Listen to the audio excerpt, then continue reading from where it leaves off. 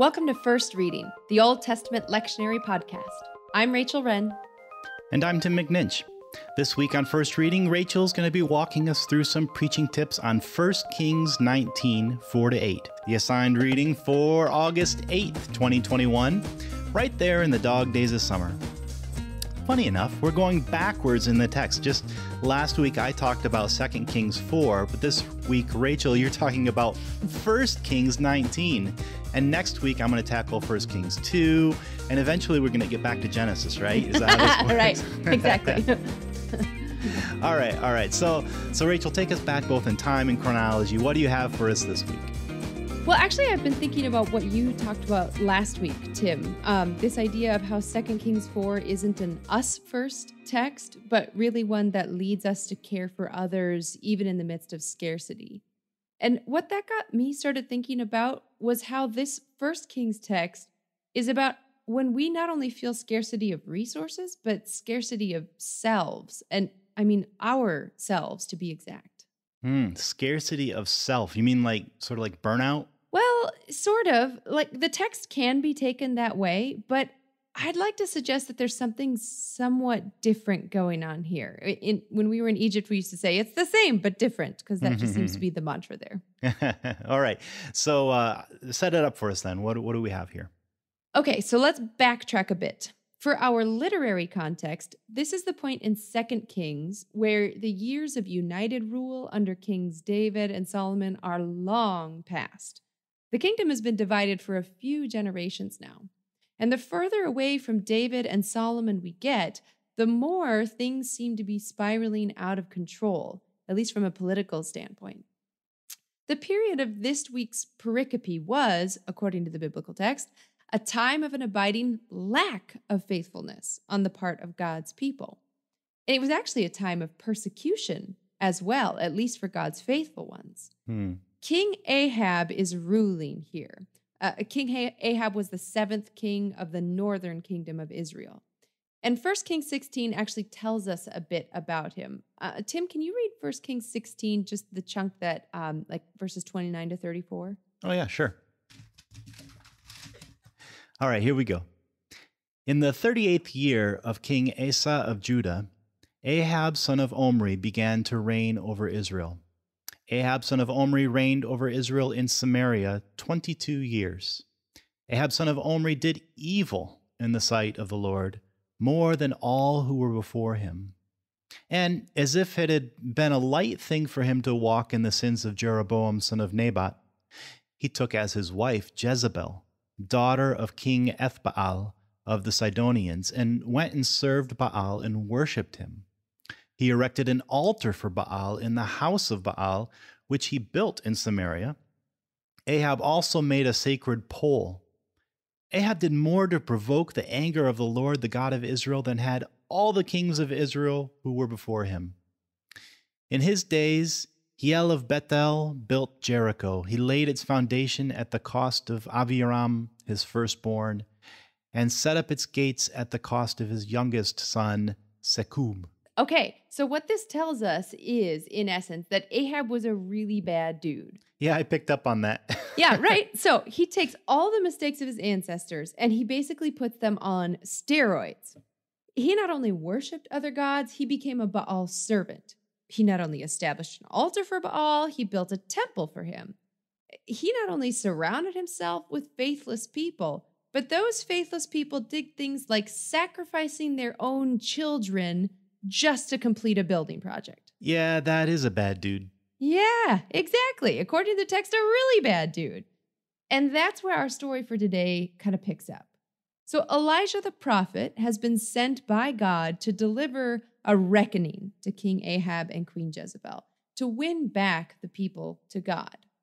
Elijah's done so in 1 Kings 18, and he celebrates this little victory by killing all of Queen Jezebel's Baal prophets. Don't try this at home, friends. Yikes. So, King Ahab, who was present for this little victory celebration, he does nothing to try and stop it, but he instead turns tail and tattles to the queen, the true power of the throne here and she gets mad as all get out. She is not to be trifled with. She rolls up her sleeves, winds up her pitching arm, and rockets a curse at Elijah.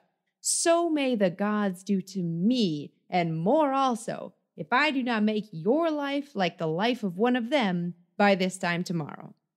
It, what she's saying is basically, may the gods strike me down as dead as my Baal prophets if I do not murder you by this time tomorrow. There's the power of the throne right there. Exactly. And in response, Elijah freaks out. In the verse just before today's pericope, we hear about Elijah's state as he went a day's journey into the wilderness. He was afraid. And the verbs in the text actually become sort of frenetic, sort of jumpy at this point. So it, it sounds like this in Hebrew. Vayira, vayakam, vayelech el nafsho. There's this punchy sound to the first few verbs. It, it's communicating orally the idea that I just said Elijah is freaking out. Mm-hmm. Mm-hmm. Yeah, so much so that he even leaves his servant behind and just goes himself into the wilderness. Mm-hmm kind of like he's he's closing in on himself or or isolating himself. Yeah, exactly. Well, and and this is one of the ways where we start to to turn to a modern interpretation of this text, which I think might actually lead us a little bit away from the text. Hmm. The way I've heard this text talked about is in terms of depression. So Elijah heads into the wilderness. He isolates himself from his loved ones, one could say, here the servant. Then he sits under a solitary broom tree and he even asks that he might die. He lays down and he falls asleep because it's just too much for him. Hmm. And, and from there, pastors use this text often to talk about depression or burnout or suicidal ideation. But I think that that's actually one of the preaching pitfalls of this text. Oh, really? Yeah, say more about that. Well, I think that it's one of those texts that sounds like it correlates so clearly to a modern day phenomenon, like here, clinical depression, that we kind of can't help but go there. And, you know, we've all seen the commercials of the person who lies down in a gray fog while life is happening in full technicolor around them. Or, you know, if we haven't undergone it ourselves, we know someone who has gotten to such a point of desperation that even death seems preferable or they just can't function in normal life. So, in many ways, this text kind of seems to check all those boxes, so we kind of can't help but go there. But I don't necessarily know that we should. So, first of all, diagnosing the psychological issues of the prophets was a really common move in biblical studies in the mid to late 20th century. You know, mm-hmm. in, in the wake of like Freud and Jung, and in the wake of pharmaceutical discoveries, it became really, really popular. It's less popular now.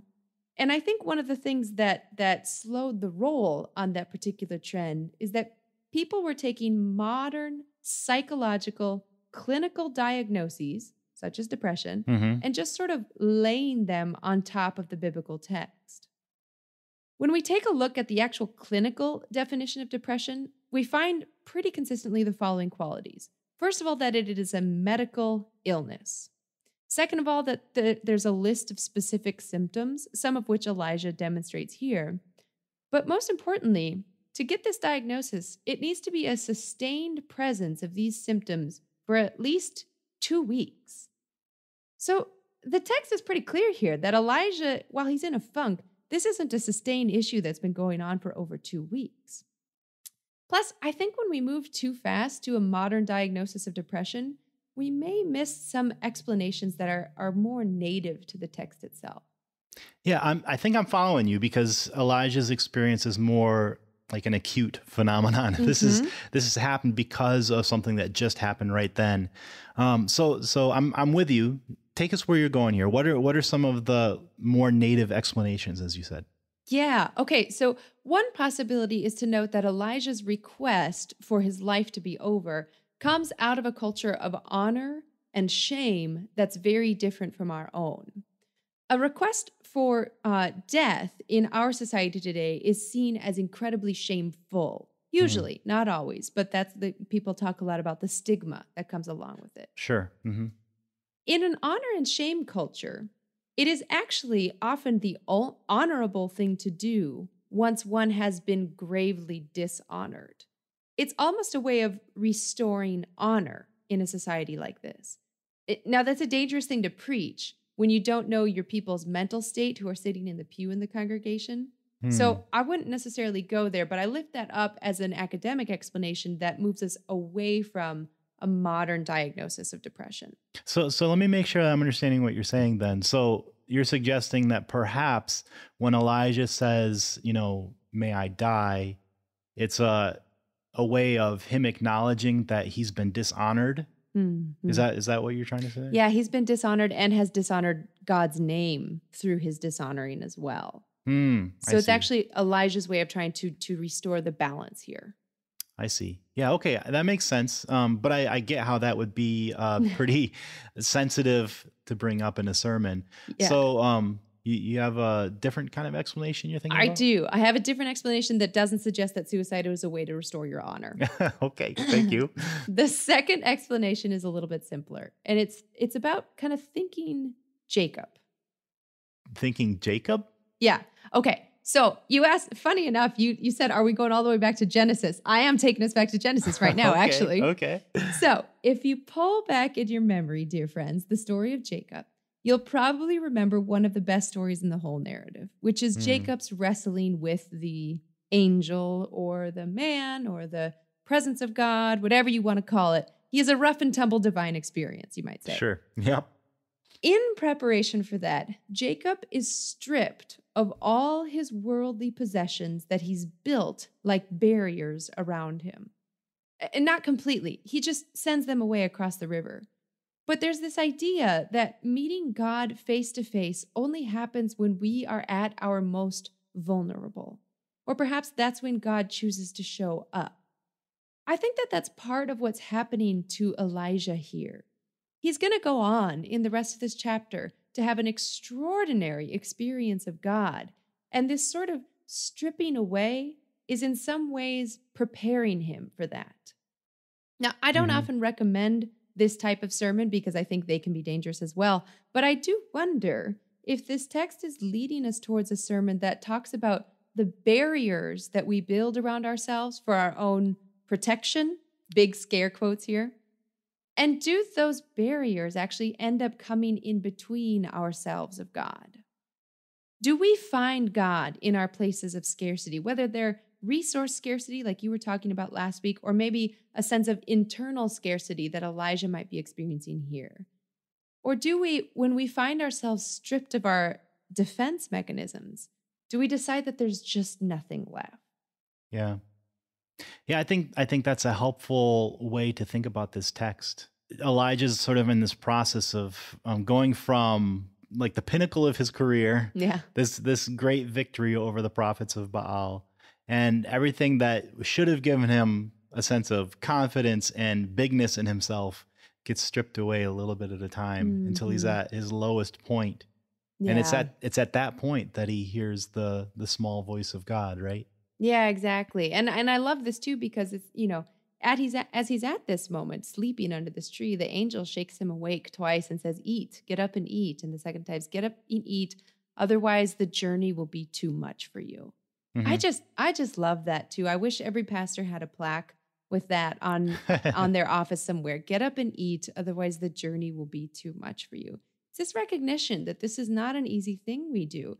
Any life of faith, not just Mhm. pastors, is Yeah, not an easy thing we do. And yet God shows up and says, "Eat, otherwise the journey will be too much." hmm A lot of us feel like we have to be strong Mm. individuals to be Mhm. strong for God. Mhm. And for for pastors, I mean, all all of you who are preachers out there, pastors, that sense of needing to carry the burden of God's people and being strong Mhm. to carry that. Yeah. And this is a kind of text that says, no, when all of that gets stripped away, God's still there. God's still able to care for you Yeah. even in those moments of of profound vulnerability, profound weakness. Mhm. Yeah, exactly. Well, Rachel, thanks for helping us to take a look at the vulnerable side of this of this text. Yeah, welcome. It's one of my favorites.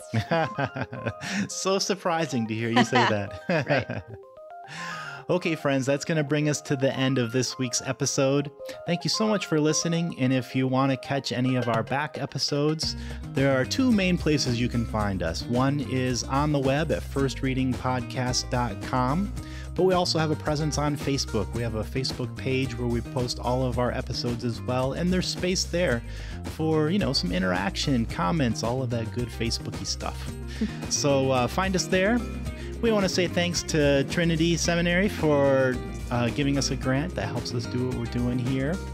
And thanks to you all for listening. We so appreciate your investment of your time and attention. And hopefully, you all are getting something out of all of this that helps you in the work that you're doing, whether you're a preacher or just somebody who wants to interpret the Bible. Until next time, I'm Tim McNinch. And I'm Rachel Wren. Blessings on the journey.